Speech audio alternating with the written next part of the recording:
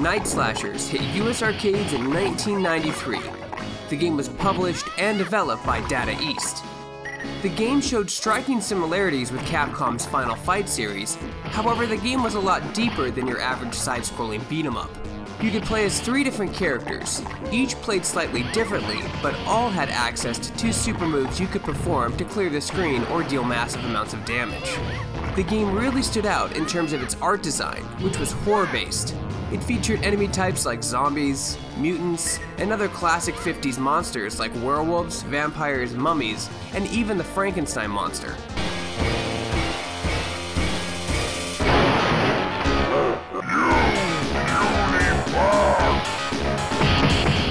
Was pretty bloody and was censored heavily in the United States, which changed its blood from red to green, as well as edited out cutscene stills from the game and took out the 2 hell sign that prompted you to move forward. The game featured three different endings based on the character you played as, and this was pretty interesting considering most beat 'em up games just had one basic ending. Unfortunately, the game was never ported to any home console, nor was it re-released in any form of a collection.